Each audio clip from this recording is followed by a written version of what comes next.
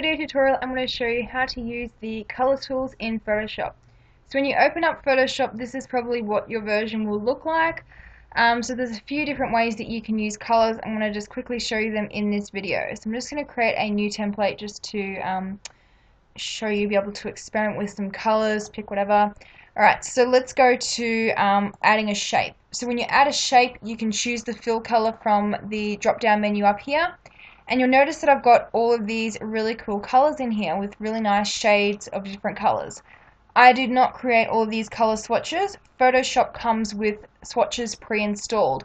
So if you go to your swatches menu, we can see all those same colors appear on the um, on the right over here. So I prefer to pick a color from this menu because this one's a little bit squished. You can expand it out as well um, if you want to. So you can see all the colors that you have. So these colors are the ones that the main color scheme that I like to use. If you click this button here, this arrow that's pointing downwards, you can pick a different color swatch. So the one that I'm using is called this Pantone Plus Solid Coated. So if you want to use these same colors, um, then you can pick this one here.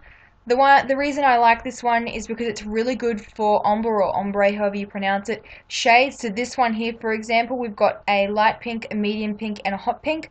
I love using three um, shades of the same color. That makes a really nice pattern or um, a really nice background when you use different shades of the one color. So that's why I really like this collection. If you wanted to add another collection, you just click that button and choose whichever one that you wanted. Um, so let's go with Toyo 94 Color Finder. Just click it and it's going to come up with this message here. It's going to say replace them with this. You do not want to hit OK. If you hit OK, it's going to get rid of all the other swatches that you have in your menu. So if you've added a color, it will get rid of it and you won't be able to get it back. So just make sure you hit append. Append just means add, so it's going to add it to the bottom below the swatches. So if we click this bar and drag it down, we'll now see that we've got that color scheme added below, and these are all the swatches that are in that Toyo um, 94 color finder collection. So I love this color collection for rainbows. It's so nice. It's already got it already set up for you. Pinks, reds, oranges, and you can see that these colors look really good together. So I recommend just choosing something from the same column or close to it. So if I chose this pink, I'd probably choose an orange that's within a couple of columns, maybe not something all the way over here, and same deal because then it keeps sort of the shades of the same color together. Um, and if you hover over it with the eyedropper tool, you'll see that it comes up with the number or the code. So this one is Toyo 002. Um, so if you wanted to come back and choose the color later on and you know what the color um, code is but you can't remember where the shade was exactly because some of these do look rather um, close similar shades then you can just hover over it and then it will come up with the code and then you'll know that you've got the right one. So using the color swatches are really good if you're not sure where to start choosing a color combination if you're making something um, so they're a really good starting point for that and if you wanted to you can click this button here and choose reset. So that will set it back to when you originally started using Photoshop. If you've added swatches it's very important that you save the swatches first before you go and reset them. And I do recommend saving them anyway to back them up especially if you've got all of the um, color swatches if you've got a color chart that you use the same colors for each product um, and the customers can choose from only those colors you, you can really quickly use just the swatches menu to find that color when you're creating something. Um, so make sure that you do save it so you back it up so you don't lose that work that you did in adding it to the swatches menu. Um, you can add as many of these as you want. I try to just keep it at just a couple um, and not have too many because it takes me forever to find what swatches that I want. It is pretty distinctive where one swatch menu starts or not. These are some of the colors that I added. Um, so these ones are just sort of like random colors that I liked. Um, but you can see that this collection starts here and then if I added another collection below it you can distinctly see where the swatches start and stop. Um, so yeah I really like using those swatches. If you want to add a swatch to the menu over here let's say that you found a color that you liked from the color wheel. So the other way you can pick a color or the color picker is to just click and it'll come up with this uh, menu here so you've probably seen a menu um, like this in Microsoft Word has a similar one when you choose a custom color.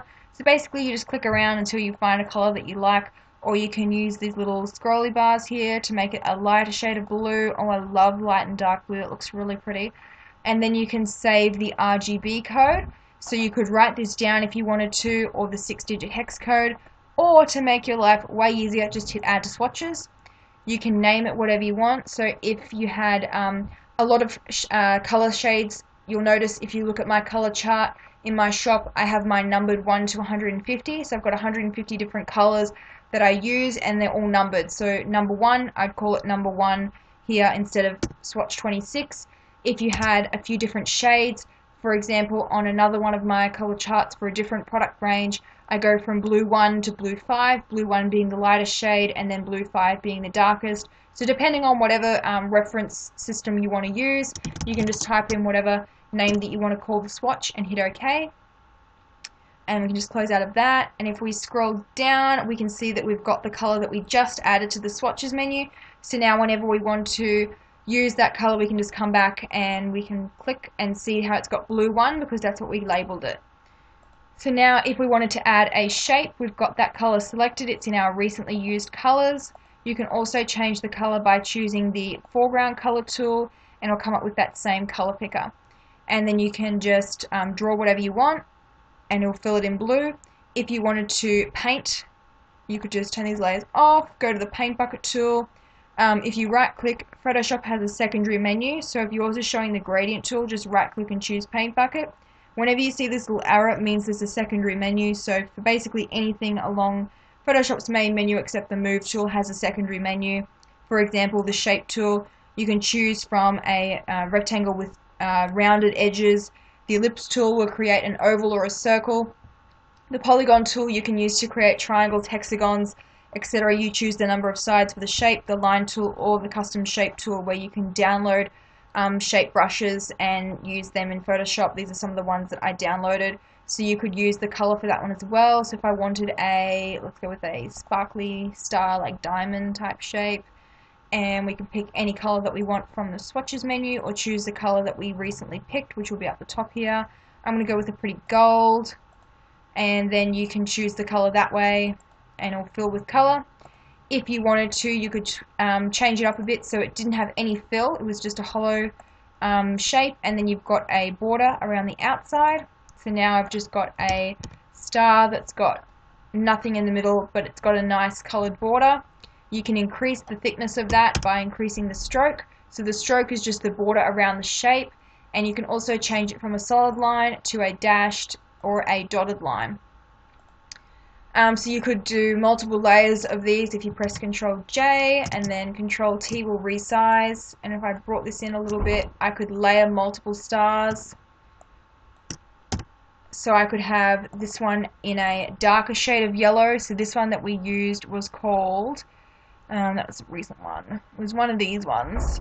If we color match it 253 255 so you can take note of the RGB code and increase the numbers a little bit, or you can just bring your slider across and choose a slightly darker shade that way, or you can pick something from the swatches. Um, just remember where you picked it from if you're using one of Photoshop swatches, not, for example, the swatches that you've added yourself.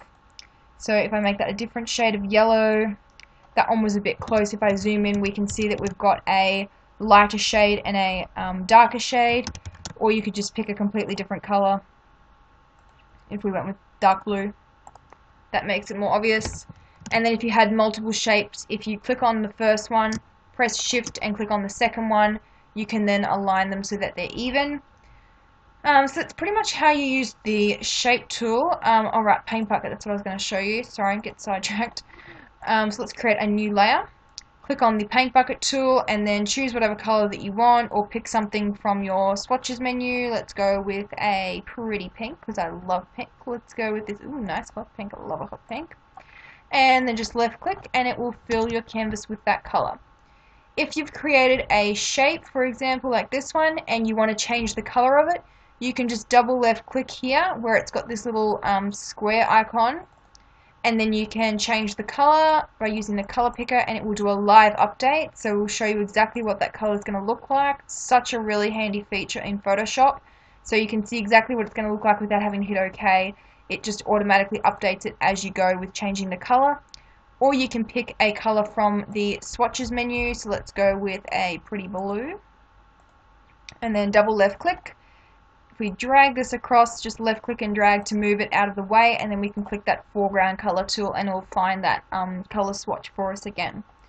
So that's basically how you change colors in Photoshop. So you can use the foreground or the background color. Basically, whatever color you've got selected here in foreground is what will apply to your canvas. So if I wanted my um, background to be white, this background color, if I left click, you'll notice that it fills with the blue. If you want it to be the white, you need to click the arrow button and make that the foreground color, and then left click and it will now make it white. You can then choose a different color. Um, remember, if you're using the custom shape tool, just make sure you right click and have paint bucket selected. Um, the only other things were choosing a fill color for a shape or choosing a color for the stroke.